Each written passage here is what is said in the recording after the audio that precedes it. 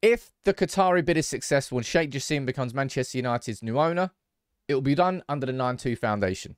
That we know. But what do we know about the 9-2 Foundation? What I'm going to do is run through as much information as we currently possibly have on it. There's more information that came out now that 9-2 Foundation is an officially incorporated UK business. But please do drop a like on the video. Give me 10 minutes of your time. I'll try it and give you as much information as possible and this is a tough video. There's so many names and so much information going on in my head right now. I hope I can present it all properly. But please give me 10 minutes of your time and let's run through it. Now, the 9-2 Foundation. The first we heard about the 9-2 Foundation was, of course, with this. With the opening statement of the Sheikh Jassim bid to buy 100% of Manchester United. You can see down there, the bid will be completely debt-free via Sheikh Jassim's 9-2 Foundation.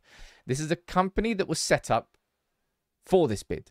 It's a company that didn't exist before this bid. And it was kind of shrouded in mystery at that point in time. Now, of course, the man who's been at the front of all of this is Sheikh Jassim bin Hamad Al Thani. All right. He's been the leading face linked with any potential Qatari takeover of Manchester United. What do we know about him? We know full well he is the chairman of the Qatar Islamic Bank. He spent time studying in England in the eh, back in his youth. We know, of course, he is a son of former Qatari Prime Minister Sheikh Hamad bin Jassim bin Jaber Al Thani. HBJ and JBJ, that's what I've been calling them here on United People's TV. But there have been a few pictures come out. He's a United fan in his youth. 1992 was when he became a Manchester United fan. That's why it's called the 9-2 Foundation. Either that or you know exactly why they called it the 9-2 Foundation. And that was that was what we knew at that point in time. And it's all been Sheikh Jassim kind of up until now, because now there's another name on that list which we don't know enough about just yet. But this is where we're starting to find out more information. So this is the certificate of incorporation that was released yesterday, the official document on Companies House from the government. You can see 92 UK Holdings Limited, and it was incorporated yesterday, the 15th of June. We go down here, we see an address. We don't really that's irrelevant. We can see down here as well. You've got Sheikh Jassim bin Hamad Al Thani as a company director, alongside somebody else that we will speak about in a bit, and that is Abdurrahman Abdullah Al Ansari down there as a second director, as well as Sheikh Jassim. So this is the first time that we have heard or seen his name and we'll speak about him in a little bit.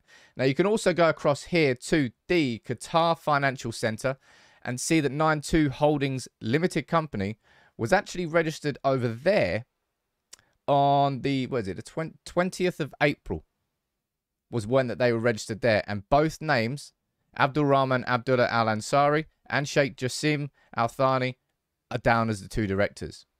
So this has already been there since the 20th of April. And you can see there, the secretary, Fadi Bakos, is a name that we'll be speaking about a little bit later in the show.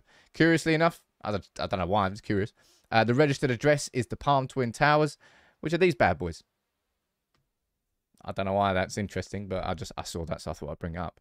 But let's speak about this man here, because this is the first that we've heard of Abdulrahman Abdullah Al Ansari being linked to Manchester United. And now that he is down, as I said, as a director, both on the Qatari company registration and the UK company registration, we can assume he's going to be involved in some capacity at Manchester United. Now, he is a 32, it'll, be 32 this year.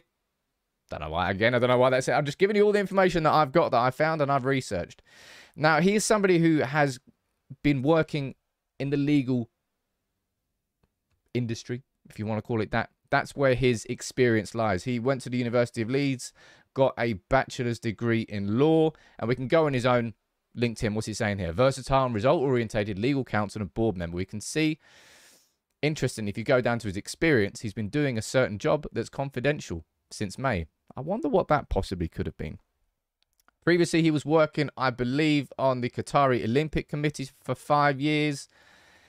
He's got experience, but it's very much legal experience. That would be where, if he's involved, which he is as a director, that's where his experience lies. Now, if you go back to this here, and we can see that Fadi Bakos is down as the secretary of 92 Holdings in the Qatari registration. Both of these men here, there, let me circle their faces, right? This here is Fadi Bakos, and that there is Shazad Shabazz. Now, these are the two names that I'm going to speak about now. We've already spoken about uh, Sheikh Jassim, and and we've spoken there about Abdul Rahman. Let's speak about Shazad Shabazz. This man here, because he was involved. He went to Old Trafford with the Sheikh Jassim delegation, although Sheikh Jassim wasn't there. Um, he went there as, I'm going to imagine, not legal counsel, but more financial counsel. If you if you if you take a look at his um, so he's been put down as as the uh, he's been referred to as the president of the Nine Two Foundation. This was from the Daily Mail back from Mike Keegan back in March. I haven't actually got any more clarity on that. This is what Ben Jacobs said at the time. He said, look, Shabazz is expected to represent the 9-2 Foundation a bit like Behdad Eghbali at Chelsea. He's somebody who's been working closely with um, Todd Boehly. So maybe that's where Shabazz would fit in. He'll then directly advise Sheikh Jassim alongside Fadi Bakos, as we all know now, is down as the secretary on the Qatari registration of the business. Now, a bit more information about Shaz- uh, about Shazad. Uh, he's got Bachelor of Arts in Economics, uh, worked at a variety of banks and investment firms since 81, 25 years at Bank of America, served as the CEO of the National Bank of Dubai. He has extensive experience working in the banking industry. That's where his role, I suppose, if you want to call it that, would lie in any sort of structure of the 9 2. One thing I would say here about all the people and all the roles involved, none of them are really going to be involved on the footballing perspective. We're talking purely from business here, like legal side of things, advice, finance, nothing to do with sporting directors or anything like that. That would all be appointments. This is just the actual structure of the 9 2 Foundation. Now, the next name on that list, as we go back to here and we say, look, Fadi Bakos, here. Fadi Bakos is somebody who, as you can see, Ben Jacobs reporting there, is going to be an advisor for Sheikh Jassim. Now, he is somebody who has got, look, let's bring up some more information on him. Lots of senior legal, corporate, and investment advice. Again, 25 years plus experience in the industry. Both of these men were the two men that Sheikh Jassim and the 9-2 Foundation trusted to go to Old Trafford to meet uh, Richard Arnold and to go through the presentations that happened. They were the ones representing the 9-2 Foundation. And we now know that Fadi Bakos is down as a secretary of 9-2 Foundation. I can't see anything about Shazad being the president. I don't know whether that's correct or incorrect. But all of these men have been involved to date. Everything has been really around Sheikh Jassim.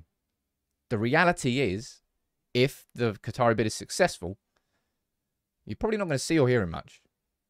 You just kind of be in the background. Maybe you would see a bit more of Abdul Rahman, considering he's down on the company in Companies House as the director alongside Sheikh Jassim. So he will have some sort of big responsibility, you would imagine. But the decisions will be down to those two men. And from a from a a running perspective, Fadi Bakos is down as the secretary. And you got Shazad Shabazz, who was involved in the negotiations, and maybe he will be the president if, as I said, the Daily Mail is correct, and he is the president of the 9-2 Foundation. These are the four names, as it stands, that we know have some sort of involvement. It's still quite uh, murky is the wrong word, but we don't have that much information. We've obviously never seen Sheikh Jassim. At some point, that would have to change if the Qatari bid was successful. A new name here is Abdul Rahman. We need more information on that. The two men that we know and we've seen near Old Trafford, Fadi Bakos being the secretary, and Shazad, maybe he's going to be staying there from an advice perspective. Both of them would be advisors. None of these are going to be involved in the, as I said, the day-to-day running of Manchester United like a, a new John Murtough or a, I don't know, Paul Mitchell type character. They're strictly business. But this is what we know about the 9-2 Foundation so far and when I have no more information, I will bring it to you. My head is absolutely fried trying, trying to get all this information in it. There is so much going on at our football club right now. Look, I hope this helped you in some way, shape, or form understand a bit more about it. And when there's news, I'll bring it to you.